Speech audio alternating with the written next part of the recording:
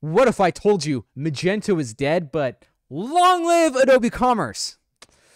We've already been speaking some heretical words here over the past few weeks with our launch of our Big Commerce course, but maybe I could take it a step further. You see, in our question and answer this week, I might say it's a bit of a softball question, but in reality, what we're looking to do is start expanding our vision, our understanding of where Adobe is taking the commerce product. Whether you agree with it or not, it is what it is.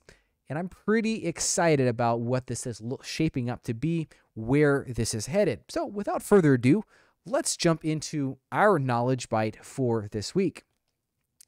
You are tasked with creating a centralized capacity value so that visitors can efficiently sort products. You are excited about how new, the new Adobe services fit into this picture. Which Adobe service receives events from Adobe Commerce? All right, we have three different events here, or different types of services that Adobe is offering with the Adobe Commerce platform. And it's, I want to call out, these are all included in the commerce license fee. Uh, so there's no additional. Now, I mean, there might be some limits and as such that there might be some additional costs if you use some high throughput. But at the end of the day, this is included with the base commerce uh, license. So we have three options here Adobe Mesh, Adobe I/O, and Adobe Catalog Service. This was an interesting uh, question this week when we put it out on the social media platforms. Uh, we got a lot of views, a lot of people were looking at it, but not many answers. And this told me that this is a incredibly important area for merchants and developers to know a little bit more about. I'll give you the answer right here and now. It's this. Answer is B, Adobe I/O. Like I said, this is a softball question, not really going into much detail on this one simply because, yeah, uh, it's just not that well known. But what I'd like to do here is I would like to jump into a conversation about what these different meanings, what these different products mean. Like, how do they actually fit into the big picture? So I spent a little time working on putting together a overly simplified diagram. Uh, it is a like I said, it's overly simplified, but I verified with a good buddy of mine at Adobe that this is correct. So we can start building our knowledge off of this starting point. It's really, really valuable here. So let's take a look at this diagram. Okay, we are all very well familiar with this part of the equation. Like that's what our that's what our questions have been based off of for the past I don't know how many years I've been doing this.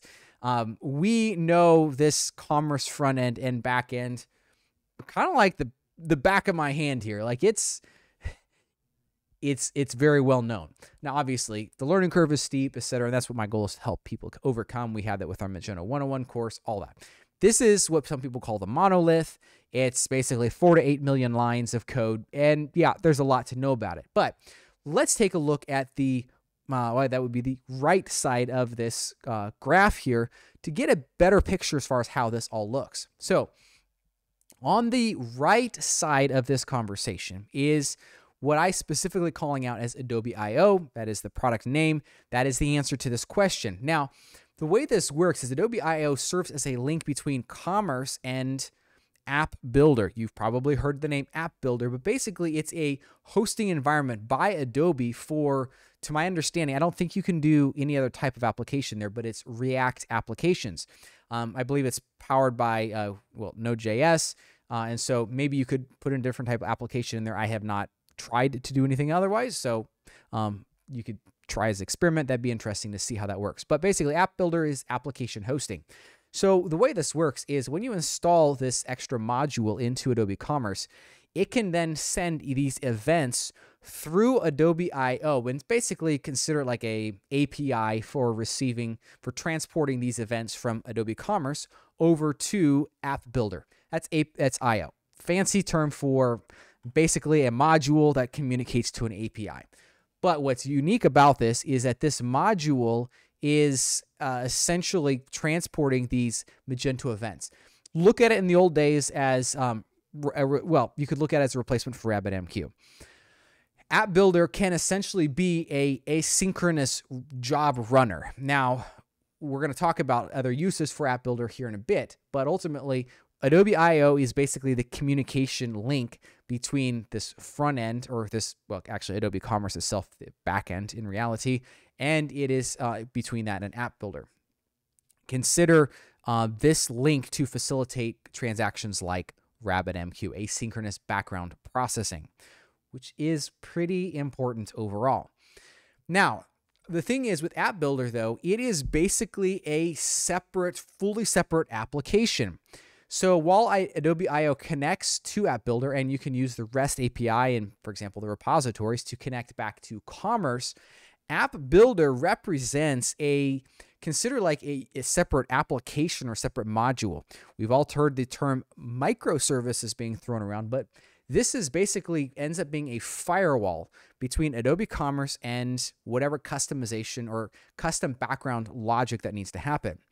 Now, App Builder can talk to internal applications. It can talk to, as we'll see here in a second, it was already on the screen, but Adobe Catalog Service. Uh, it can talk to um, an ERP. It could talk to a, a PIM, Product Information Manager. It, it, it can talk to anything. Uh, and so the key thing here is that an app builder sits in it like a basically a, it's a separate application, though that's firewalled off from Adobe Commerce. Well, what value does this provide to Adobe Commerce? The value here is Adobe Commerce is now upgradable. It's considered like a software as a service. It's very robust, has a lot of features, but it becomes software as a service. Uh, the idea is that there's very little customizations that need to happen to this. Now, then we can go down the rabbit trail of like, okay, let's say we do want to customize the order display. How does that work? Well, uh, the reality is, is that it's kind of not to be customized at that point. Um, and the way it works with other software as a service platforms, if you want to customize it, you have to use the API and uh, build your own interface that handles this customization. So the core, the idea is that we're Magento is locking up this core product. And the pushback there obviously is well, that's the whole selling point of Adobe Commerce is customization. Well, they're answering this in a separate way. You see, what a lot of the community has asked for is how we, we want a more upgradable Adobe Commerce. It's like saying back in the 1900s, in my opinion, saying we want a we want faster uh, uh, horses or faster buggies, more efficient. And Henry Ford invented the Model T, right? And that that same application can be pulled forward to today.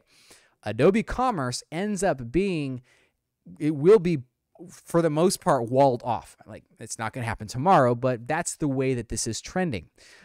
We would all agree that the core Adobe Commerce platform is highly upgradable. It's very robust, very performant except for a couple areas.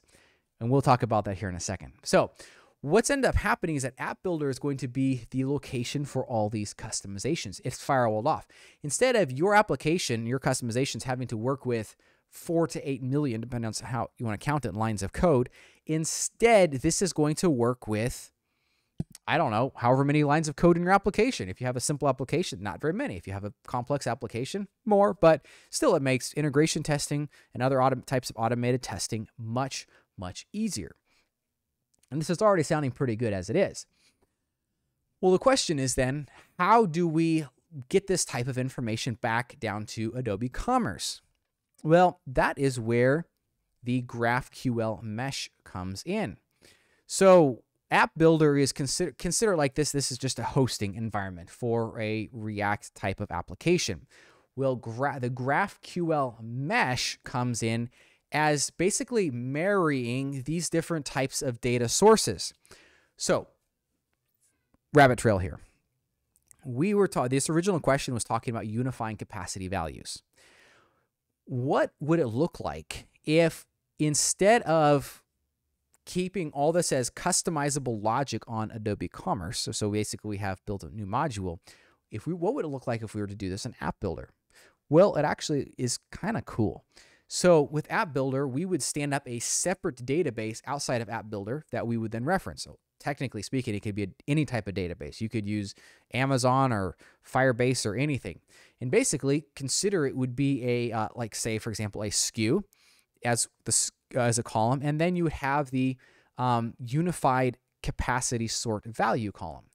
So then what happens is when a request is made from the front end to say find out what these capacity unified capacity values are. So again, the unified capacity is let's say we sell garbage cans and dumpsters and the dumpsters are in cubic feet and the garbage cans are in gallons or liters uh, we have to unify that so someone can sort and say hey i want to find um, containers within this range here app builder slash graphql mesh at this point would fetch the product results from adobe catalog service right here and it's going to then mesh or combine the values from our external database, these unified uh, capacity values.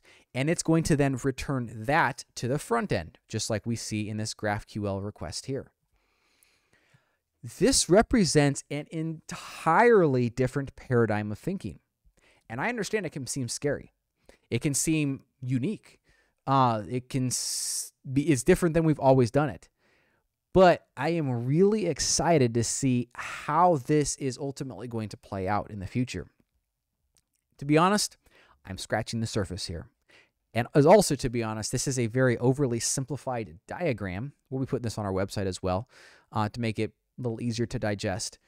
Very simplified here, but I hope this starts presenting the picture of what is capable what you are capable as an application developer and how this helps increase the stability of the core Adobe Commerce product. Now, I understand we have not addressed all situations here, all contingencies, all types of customizations. We'll be talking about that here a little bit more in the future. But at the end of the day, I hope you have found this helpful as just trying to bust open those doors just a little bit to see where Adobe Commerce is headed and how this is all going to play out. Just so you know, I'm not being paid by Adobe to do this in the slightest. I have caught a vision, or caught the vision, you might say, for where this is headed. Uh, and to be honest, some of this has come through uh, my study of big commerce, which kind of started blowing those doors open. And then I came full circle to see this is where Adobe's headed. And it's really exciting. I am really happy to see some of this progress that it's making. We're actually looking how we can start implementing some of this in our own projects that we handle for our clients.